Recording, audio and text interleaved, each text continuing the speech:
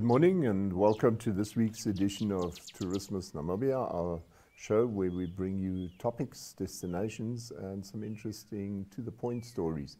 Uh, like I said, those are our three uh, categories as always. My name is Frank Steffen, as you can see on the, on the screen there. I'm the editor of the Allgemeine Zeitung, but I'm also responsible for the Tourismus Namibia magazine. So, welcome to this week's show. I hope we've got some interesting stuff. Um, I approached it a bit different just so that not each show is 100% the same as the previous one. So up next we've got uh, topics and then we'll go forward.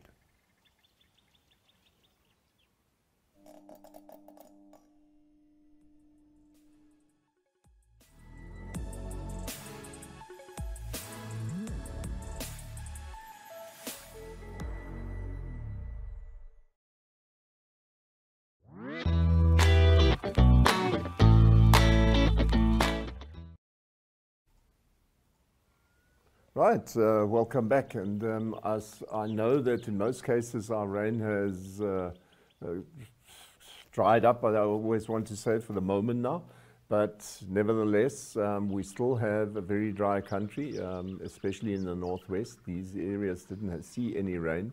And that is exactly why you then suddenly find flash floods because um, there's nothing that holds up the water once it starts running down. And typically, if you look at the photo we've got for you, um, you can see here, this was a gentleman that has driven right through Africa. Imagine going through Kenya, going through Central Africa, having done it all, having seen it all, and then just to, to underestimate our rivers in, in Namibia.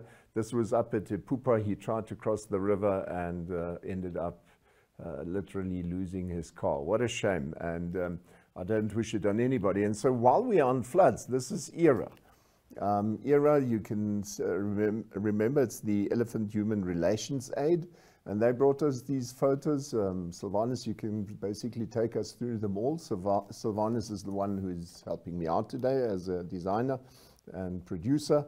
So you, here you can clearly see these huge rains, what they've done and how, how they've covered everything in mud and, and slick and whatever. So this is in Damaraland now. So you can imagine if old hands uh, are caught out by the rain, um, as a visitor, you should surely be uh, watching out. Look at this. It's, it's, it's such a shame because ERA has actually just uh, uh, rebuilt some of their sites and spruced them up. So I suppose they're back to square one just to start again. And here, this is these are cutouts from their Facebook site. Uh, there you see we dug up the phoenix, literally rising from the ashes. This is an old vehicle that they had. Uh, that they tried to recover. And um, I have to admit, sometimes you wonder whether it was ever worth it. But uh, like they say, it took 24 men to, to just dug, dig up this old vehicle. Uh, but apparently it's got a bit of a history, so they didn't just want to let it go. But imagine for a vehicle to be so deeply under mud. Uh, that you can't find it, uh, you know, like they say here, one meter thick sand. So we just took these cutouts from the video that they uh, put on Facebook. Here you can see Phoenix is finally rising from the ashes, it seems. So um, if, if it happens to them, people believe me, it can happen to all of us. And, and that's why I think it's very important that everybody just realizes if it rains in Namibia, don't take chances. These rivers come down all of a sudden. I saw it when I drove down to, to Lüderitz again but I'll post that one on our internet site or video site, uh, Facebook site in one of these days. Right, and those were our floods and, and all the consequences. Um, up next, we've got a, we want to focus a bit on our desert adapted lions. Um, we've just spoken about ERA, which is obviously the Elephant Human Relations Aid, and then we've got the Desert Adapted Lions Human Relations, DELRA. And uh, they sent us an update this week, and I will be sure to, to convince Isak Smith to come speak to us on the show in the near future. But these were photos of Inky Munt and other people uh, that found, for example, that uh, hide from, from a lion that died. And, and the, here the, the line actually still looks, lioness uh, still looks good, but uh, the newest ones show much, much, um, yeah, haggard and, and, and hungry, obviously. And here clearly you can see these, these animals have a hard time. Now what, what puzzles me is we've been able to, to save our, our desert horses. Desert horses that in effect were only uh, landed down in Lüderitz because of Germans. Um, Germans, whatever, there are various theories how these uh, uh, horses came about. I suppose it's probably a combination of a couple of them. But the desert adapted lions they are there simply because they adapted to nature. It is a natural phenomena. It's nothing with humans having interfered. The only interference that happens now is that we don't look after them. We take away the game that they feed on. We take uh, away the habitat. We, we, we push them out further and further, and they essentially are now going hungry. And especially with the drought, we spoke about it before on the show, especially because of the drought, it worsened the whole situation. And so the newest assessment that Inky Munt and Isaac Smith have, have sent out now is that the desert lions are down to between 35 and 45 animals. That means the next thing that you will see is in, that they get inbred and they've got other problems. So I think we better get moving very fast and try and help them. So if you want to help, maybe it's a good idea to make contact with the Ministry of Environment, Forestry and Tourism because I'm quite sure that they are uh, looking at ways in which they can try and uh, uh assist in this situation. And then obviously DELRA. DELRA can be found on any internet uh, site. You just need to Google it. D-E-L-H-R-A, Desert Adapted Lions Human Relation Aids. So um, just have a look about that and, and try and let's try and say these lines. I think they're very important. They're unique to this country, nowhere in the world to be found again. So those are our topics for today. Up next, we've got destinations.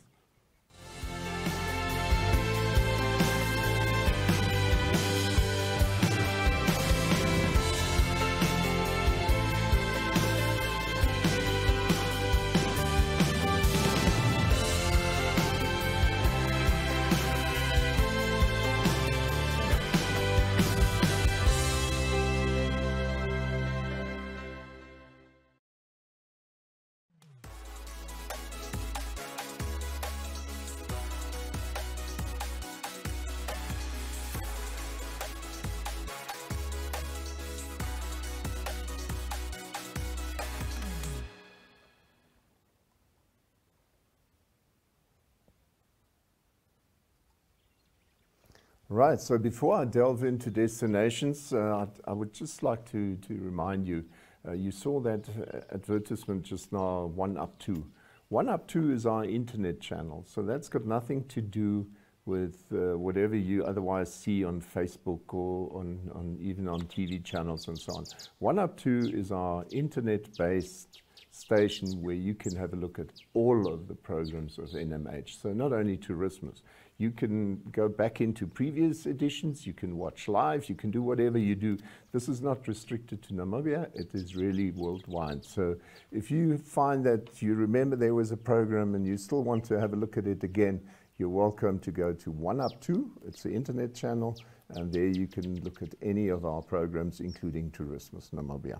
Right, talking of destinations, uh, this time we want to take you to Swakopmund Craft Market. Now, if you look at the map that we've provided here again, um, the, the craft market is sort of on the right-hand side. And I, I tried to include the pier, um, so because uh, Micheline Navati says, she's a colleague of mine in Swakopmund, and she recently visited the craft market that is found near the museum. And you can see here, I've indicated the museum right at the bottom. This is close to the pier that is also known in local lingua as the Mole. So if you look at these photos coming up, you can see there are quite a number of, of nice thingies to buy for yourself.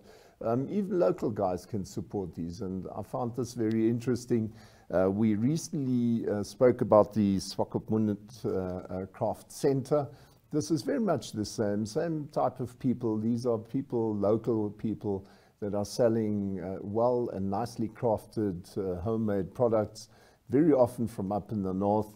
And uh, so, so we thought that we'd bring that to you. Um, Micheline spoke to uh, a person, he introduces himself as Mr. Jacques. And uh, here's the video if you want to have a look. Welcome to Swakopmund Market. We are behind the museum. So these are our products we are selling. And my name is Mr. Jack. Yes. Normally I'll be I'm selling this uh, African art. This with uh, with necklace.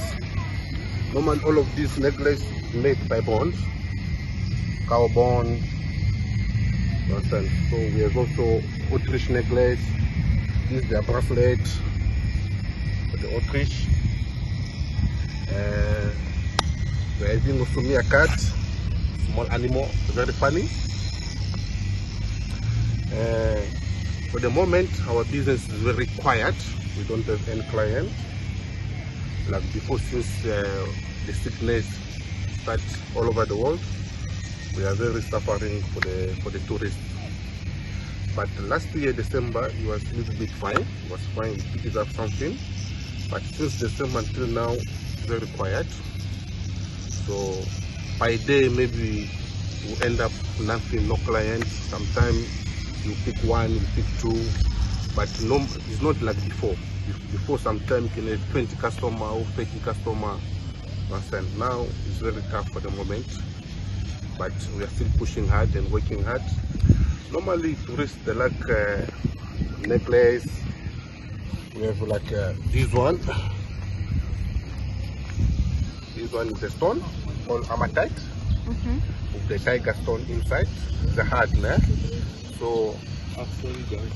yes, uh, guys, the Valentine is coming. You must come and buy something for your wife. Come and buy something for your wife to surprise her. So this one they go faster because they are easy. Most of the customers like necklace and the bracelet, so that one they go faster in the market. And we have also other uh, products. They go so quickly. We have animal, elephant, buffalo, big five. They go so faster. And you can take all shop. We have nice buffalo there. Also, they go fast. We have a big five down there. And the African map.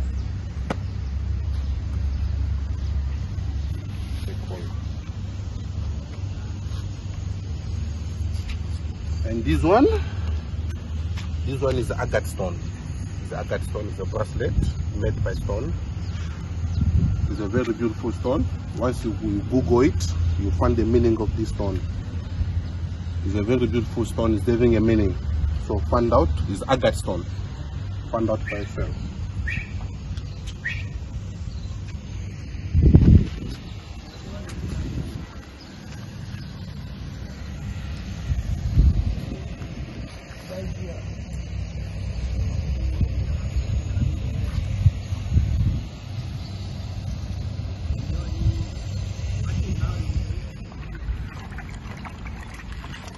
So Hmm. We use we used to put it in the water for sandpaper because to make it smooth. To make it smooth. So uh, this can this ball they take time to make them so normally we cover them from Okahandja is where we used to cover them. Sometimes from Rundu at Kavango there. If you have time to go there, you can go, but if you don't have time, you can go to Okahandja, is where many people they are filtering these uh, Kavango balls. So it's where we, are, we like to produce most of the time. We just bring them here, then we finish them here. So here we don't have the place where we used to make them. Here we just come and finish them, then we put them at the market. So what you is that water or what brown No. substance is that? This is water. This is water we are using to take to take the color out to make it smooth. Oh, So once it's to make it smooth, it come back, it bring this color. Now we put it come like this. Oh. Yeah, come like this. Then uh, from water, before to come like this, from water it come like this. Oh, so that's the Come before. like this. This is the before. You see now it's dry. Then from here we have to put again sandpaper, a smooth sandpaper. Then from there we apply mid brown polish. After applying mid, mid brown polish, then it come come like this. Where you can put your salads. So that's the final product. Yes, this is the final pro- product. Okay. Yes. And uh, normally with this one, this one is natural like this. Then uh, from there, if you want to put design, then you put design. So put design, this we call it is a batik design inside here, and this is the the zebra zebra design, and red red Namibia on it. Yeah. So all the Nigerian product from local. Yes.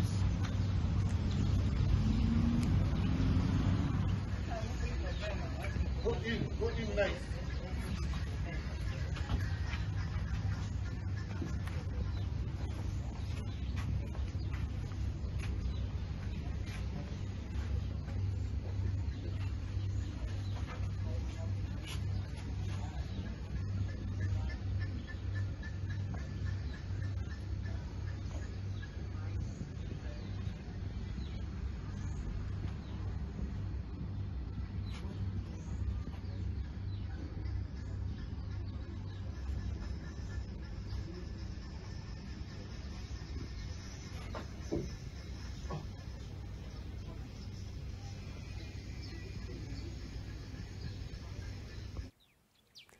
Know, so often we have to listen to arguments about this stuff all coming from South Africa or being brought in from Zimbabwe and I don't know what else we hear. And this is nice to see this is done locally. This is local craft. Obviously, not all. Some of it might be pre manufactured by others as well. But what I love about it is the fact that this is not only stuff that's bought and, and sold to you. Uh, the guy actually sits and, produces it himself, and he's proud of what he achieved. So, very well done to these guys, and thank you, Micheline, for that contribution. And so, while we're in Swakopmund, uh, my colleague Michelle Leroux recently uh, was down there. She's uh, uh, the lead person of NMH events, she's the team leader there.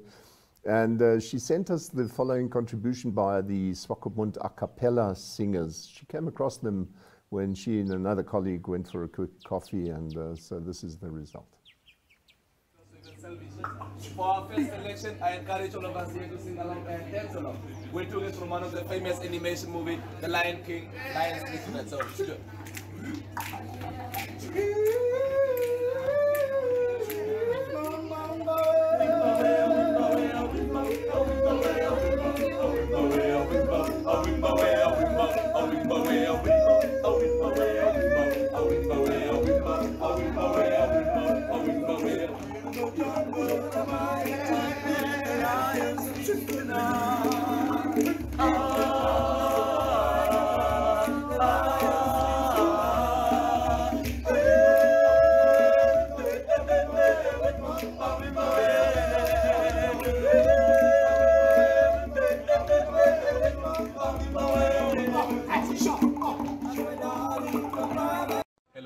ladies and gentlemen. Um, together we are called the Swakopmund a cappella singers, and my name is Pino, and Uh, sorry, I'm Dennis. I'm a vice leader of the group.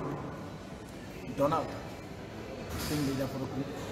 Um, the Swakopmund Cappella Singers were started uh, way back in 2010 in, in and later on we started our second branch in Khorixas in 2011, and the third branch, the Swakopmund Cappella Singers, again we started here in Swakopmund. Um, the group has started an initiative of creating job employment to unemployed male um, to take them out of the streets and so forth. So we are doing this for um, to raise some funds for ourselves because most of the guys in the group are unemployed, and this is one of the ways that we are raising funds to like bring bread, bread on the table. And um, as as as we're also saving up money, we are sending some other guys to go study further, and so yeah, that's the main aim of the group. And um, we're also having a tour this year to Germany, hopefully in the middle of Germany. So it will be our first time to go overseas. So your support and love would be appreciated.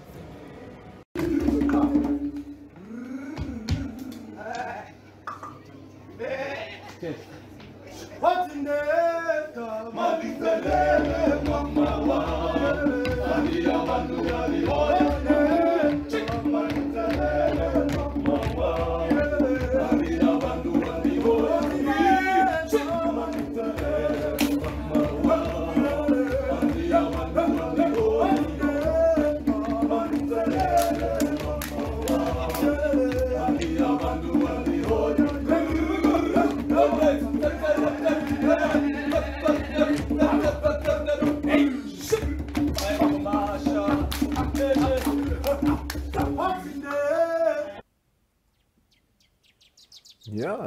again, it's something different. And once again, I need to remind you if you want to go to One Up Two, where we have all these various shows of ours, and even if you watch over DSTV channel t- uh, 285, that is, or 94 on GoTV.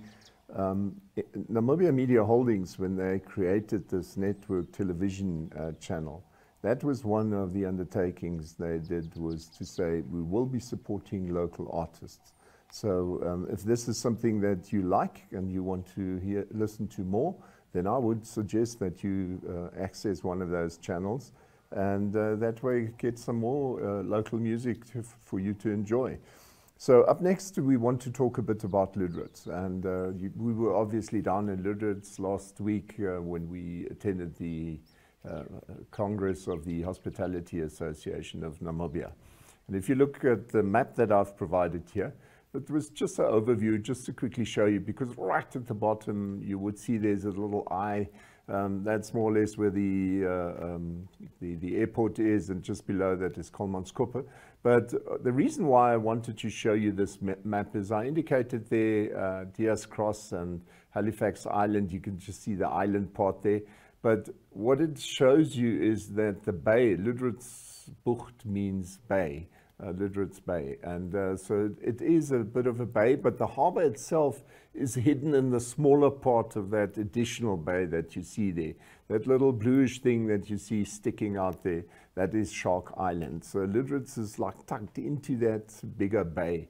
And uh, so it just gives you an idea, idea where, what area we're looking at. And now we've obviously spoken often about this. Um, you know, uh, if you look at the following photos, I've, I've accumulated quite a number. It was not so much because we keep talking about Lüderitz and then we tell you where you can go and what you can all do about it. And obviously it's the Kite Park and all that sort of thing. But, but there's never time to really show you how many typically old, and I think some of the stuff is actually built in the Jugendstil. By the way, I, I grew up in this uh, building for some time of my uh, youth years. And, but anyway, this used to be the old cinema, for example, in Lüderitz. There are many old uh, buildings. This is the old power station. This is where the HAN Congress was. This is the road that leads past the power station over to the Nest Hotel. Um, and in the back, you could see the church uh, steeple checking out there. Um, wherever you go, you always have these old buildings. This is just across from the waterfront, the original waterfront uh, down by the harbor. Um, there's always, and now these gentlemen here, if we can stick with that photo for a moment, that's on the left uh, side, you've got Fluksman Samuel, and then it's the uh, Honorable Minister of Environment, Forestry and Tourism, Pohamba Shifeta, and then on the right-hand side, uh, Roger Gertz of uh, um, DSTV, the, the, the DSTV Namibian part that is. Now these guys are standing right in front of these huge black curtains and, and then obviously the presentation was uh, presented on this white screen in the back. And uh, so for the first time now to the public, they actually opened this up. So if we look at the next photos, you, you will see that they're still standing there and now the screen is being rolled up and suddenly you see this uh, nice Lüderitz waterfront. This is now the waterfront inside that conference center inside the old uh, power station. And this is what sort of greeted us.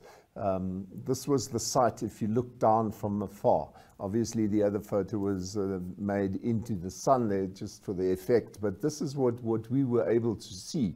So even if you don't have presentations and it's just a meeting so on, um, this is what you literally look at down towards.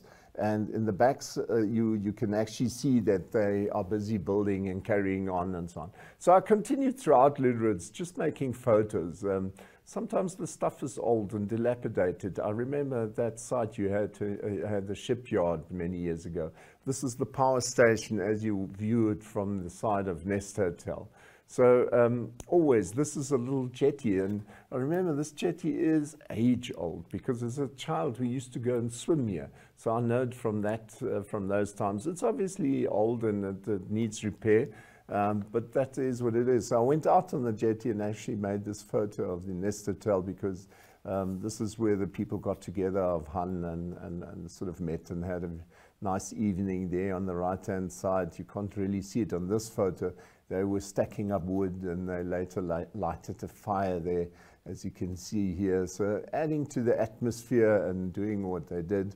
It's a very nice site um, uh, to, to go to and obviously Nest we've spoken about before, we've written about it. And the next day we went out and had a look about, around Zahlkeit. This is the entrance literally into the park, so we weren't allowed to go in there. Obviously it's only guided tours. But the whole of Lüderitz, just the immediate surroundings. Um, this is an old power uh, distribution center down at what used to be M&Z. This is the Goerke House, uh, House. Um, it's, it's one of the most well-known sites in, in Lüderitz as you go up, and then obviously the church. I had to, to do this photo different because you couldn't get it horizontally in, uh, in, in such detail otherwise. So it's, it's a very old church, and, and, and these houses are all nicely made up. Uh, Glück auf is what you can read on, on top of that uh, door. Glück auf is the German expression for miners uh, wishing them good luck. Um, so wherever you go in Lüderitz, you are reminded of these old times. And um, yes, some people might argue with you, but yeah, it's only German and it's prehistoric and it might be colonial times and so on. But it is history. It is who we are, what we are. It's what built us. This is sort of the road going down towards the harbor. Um, I just uh, shows you even newer houses. This is once again, this is what we faced when we went to HAN. This was the, the uh, convention or the Congress was held in there as you can see here with our Tourismus vehicle. I took this photo simply to show how the angles more or less worked with the, with the church on the left-hand side because it's reflected uh, in, the, in the window.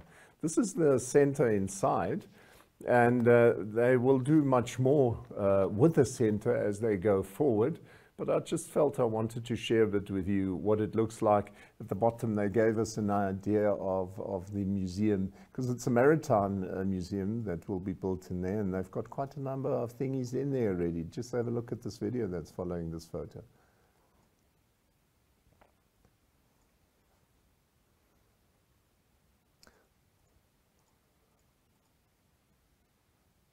Sylvanus, is that the video? I'm not quite sure now.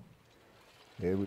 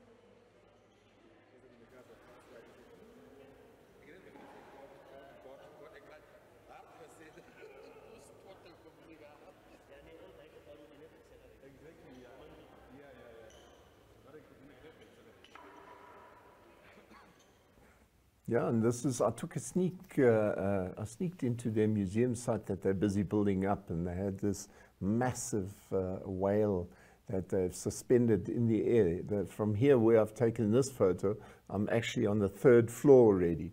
So it's, it's, uh, uh, it's a massive thing. Uh, so it's comparable to the dinosaurs you often see in, in these similar museums. These are the sort of uh, uh, backgrounds that they've created there. So this is very artistic and very real. Um, you can see they're, they're preparing to, to, to, to give us a real impression of what the, a maritime museum should be and what it should entail. Um, so this is not ready for the, for, the, for the public to visit yet, but I just thought it was quite impressive to just show you what they're busy trying to achieve in Lüderitz at the moment with that uh, phase two coming up in the power station. Phase one was the one down at the harbour you've got restaurants and shopping centres and whatever, or little shops at least. Um, and this one is the old power station, uh, which they will be sprucing up to really uh, serve the public and also the, the visitor to Lüderitz to give them a real good idea of what it is all about. And that's why I prepared that video of all those little uh, models and ships and so on, just to give you an idea that even in Lüderitz, there's a lot going on. We will on the Tourismus Namibia site in due course, we'll show you a lot more about what's going on on the outside. We also uh, reported on it after coming back from Lüderitz. So anyway, that's Lüderitz for you, just to give you an idea of what the town is and what you what you're going to if you go to spend time there. Just visiting all those old buildings and walking around time and uh, town and, and, and, and sort of getting involved in what's going on there, that already takes you easily a day, quite apart from all the other uh, uh, uh, areas that you can visit and tours that you can take part in, stuff that we spoke about on the show in the past. So, so yeah, those are destinations for today. Up next, we've got to the point.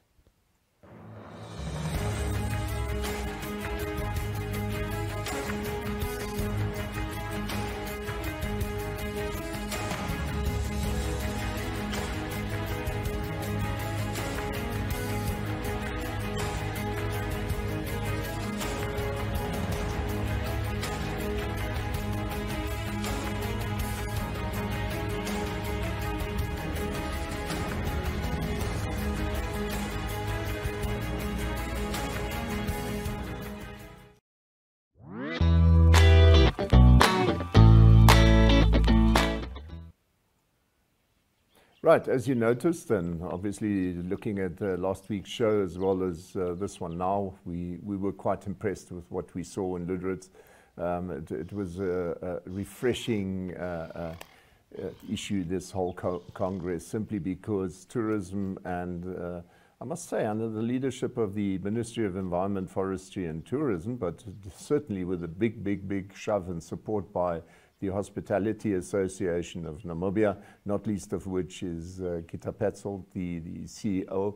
Um, she was actually thanked with a standing ovation uh, during the night of the big uh, gala e event um, by all, and uh, it included the minister. Everybody got up and really thought she did well in the time of COVID to, to, to take this industry and try and find positive angles and promote Namibia to the best of her ability. So while we were down there, obviously you could see just now from the photos, the CEO of the Lüderitz waterfront, uh, Fluksman Samuel, was there. And I asked him to, to just uh, explain to us quickly about what's going on in that area and what they tried to achieve with this revamping of the power station. And this is uh, what was the result. So we're standing here with Mr. Fluksman Samuel. He's the CEO of the Lüderitz Waterfront. Welcome. Thank you very much. I'm very pleased to be here. Yeah, we're obviously pleased to be here ourselves down in Lüderitz. Uh, tell us quickly a bit more about the waterfront and what the development entails. Yes, oh, thank you very much. Indeed, the, we are now gathered here at the old power station, which uh, represent the second phase development of the Lüderitz waterfront. So what we're trying and do is to use innovative uh, planning to transform the old power station building into an attractive waterfront space. So in this building, um, we are, are accommodating uh, sports facilities and also um, uh, conference facilities. And then there will be about two restaurants and a coffee shop and the Maritime Museum, which will be a major attraction for visitors. And then there will also be a university.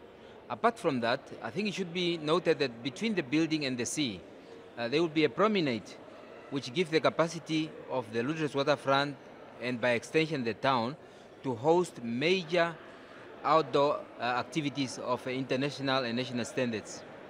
Well, we've seen the auditorium now, but uh, the question is now how long do you judge this still to carry on before it's finished? Yes, uh, indeed, a project of this magnitude, of course, uh, cannot go without some challenges. So we have gone through. Uh, one of the major challenges, perhaps, is the is the funding that we do that we do receive from the state, because the Lüderitz Waterfront is a is a is a public uh, entity owned by the Namibian government. So we have seen for the last five years that money, uh, capital funding for this project has been declining. So uh, we now hoping, we keep our finger crossed for the next financial budget. We have uh, made a good case to, to, to government and uh, they have uh, informed us that uh, they are committed to this project. Hopefully, uh, some funding will come our way. Uh, we need about 120 million still to go to finish everything. Once we are done with that, uh, once we, get, we receive that money, I think it will take us about uh, 12 months to complete everything. So uh, we believe that by by uh, early next year we should be able to complete this uh, exciting project. Okay, because that would be obviously be great news. Because just looking, I quickly peeked through the window at the museum.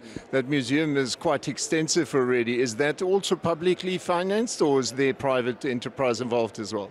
The the Maritime Museum uh, is an integral part of the whole transformation of the building. So it's funded by the state. However, we have some entities, uh, including public entities and private people, who are making uh, donation to the Maritime Museum, Okay. which we welcome. Uh, uh, to come and add value into the Maritime Museum. And uh, please trust me that uh, this will be one of the major attractions uh, in southern Namibia, and also, of course, it will be the only maritime museum in the country. And the, this will be also the, the biggest maritime museum in the country because it will be housed in, on five floors of the building on the northern wing. We have enormous space, and we have already artifacts worth um, uh, 15 million on site, which we can allow visitors to, to look at it if they have time as well. Uh, what you see here is just a, is just a fraction. So some other things are stored here, which we can allow people to see. And, and, and as, before I end, I must also say that uh, museum experts uh, who are also contracted in this project uh, to share their, I mean, to, to, to make their, their professional experience, um, uh, to make their professional experience um, uh, part of the project, they have told us that, look, if you are developing a maritime museum, and this maritime museum is in a historical building, such as the old power station, which is more than 100 years, because this building was completed 1911, is already scope number one. Number two, if you have it close to the sea, a maritime museum is scope That's number two. belongs, yeah. So we have both uh, the competitive advantage. Yeah. Um, uh, I grew up here as a child, so I still know this uh, building as a power station. So to me, it's already a huge transformation. Tell me finally, before we part, um, this uh, whole thing about HAN having its congress here, how do you see that in terms of uh, uh, furthering the Lüderitz cause as a tourist uh, destination? Well, I think the firstly we welcome HAN, and uh, of course this congress has been postponed for almost two times due to COVID situation in the country. Um, we have the best conference facilities in in in in in, uh, in this part of uh, of Namibia. Certainly, just last week, I mean, we we had a, a full week of conferences of all school principals in the in the Oh, south. okay. Next week, we are hosting the National uh, Road Safety Council uh, conference. Okay. And in April, um, in April from the 26th, we are hosting the National Youth Week. All the youth in the country come here in the Lüderitz uh, uh, space. And then we also hosting the Crayfish Festival. Of course, this year we are busy with the restart plan. So certainly, we, we believe this is a marketing uh, opportunity also to the other players within the industry who are here to see that the Lüderitz waterfront is there uh, to complement the initiatives of promoting tourism, especially when we, in a, in a period of restarting Yeah. the whole tourism initiatives in our country. Well, there you have it. Those were the words of Mr. Fluksman Samuel. He's the CEO of the Lüderitz Waterfront. Thank you. Thank you very much. Thank you very much. Thank you. Good. Right, and that was Fluksman Samuel. He gave us a good idea of what's waiting there, and uh, I think just another reason, hopefully, for, for the government to somewhere in their budget that has just been announced uh, to, to find some money to maybe help Lüderitz just to get that final heave over the doorstep and finally be back in the tourism industry in a, in a big way. Because, like I said, Tsau Khaeb, uh, the, the Sperrgebiet uh, uh, park that they've just tried to reintroduce, they announced that they've got five uh, um, concessionaires that are able to access that area now. That's the area from Lüderitz going down to, to Oranjemund. So very exciting stuff there for Lüderitz because I'm quite sure if that is properly done, then over time we will find that uh, um, that area will, will have a good economic upturn again. Right, and then because we missed it last week simply because the program was too full and we were busy doing hun, hun, hun the whole day long, um, there was one thing that I still wanted to highlight in this uh, program as well, and that was uh, a, a talk that Claudia Reiter, my colleague at the Allgemeine Zeitung, had with Kelsey Prediger, who's the founder and director of the Pangolin Conservation and Research Foundation.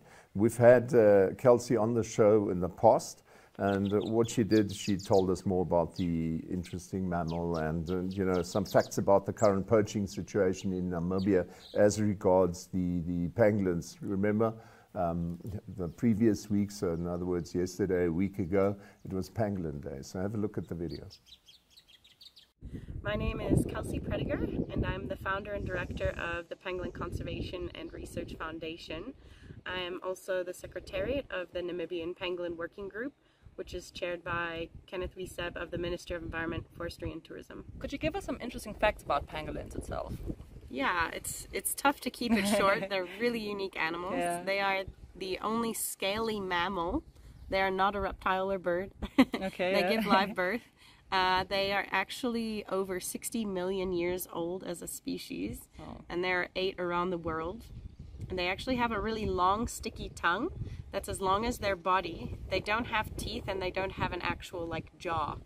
Um, and their tongue is uh, has a gland that's sticky, so when they stick their tongue into a nest, they'll, they'll be able to pick up the ants, termites, eggs, and larvae. Uh, what does the situation look like regarding the poaching for the pangolins?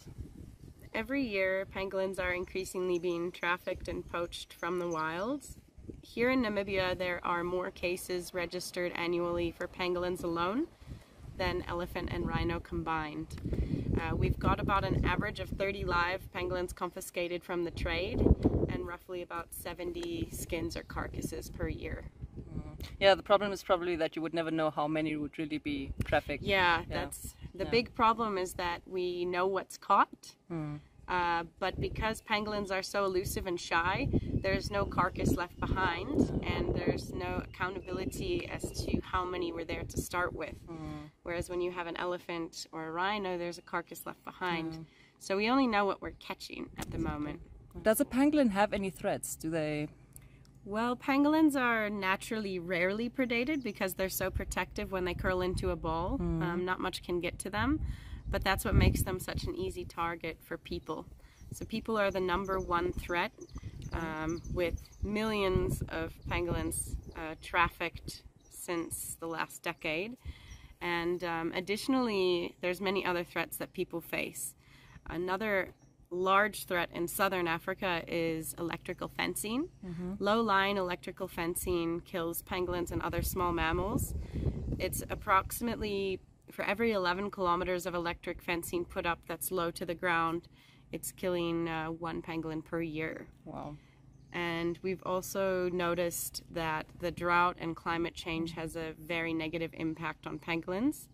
Uh, one study site in central Namibia found 50% of the population to die in the 2018-2019 drought. Wow. Regarding the trafficking, why exactly do people do it? What do they use the scales for? What do they use the animal for? What? Yeah, pangolins have traditionally been used in Africa for different things, such as like sustenance or bushmeat. Um, they have different spiritual and medicinal beliefs, but there's never been big pressure on pangolins.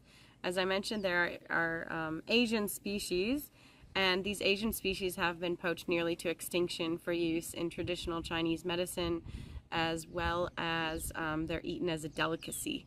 Um, so the scales and different body parts are believed to cure different ailments and now there is a demand for this in Asia as their supplies are dwindling. Mm. Um, but in fact, there is no use for the scales. It's just the same as our fingernails. Um, and yeah, there's many different things they believe it to be used for, but there's nothing medicinally proven. Right, and that brings us to the end of today's show. I hope you enjoyed what we brought you, the content, um, and we will remain for another week. So have an enjoyable Sunday afternoon and a good week ahead. And I hope we'll see and talk to each other, or at least you will listen to my show in another week's time. Until then, remain healthy, look after yourself. Bye.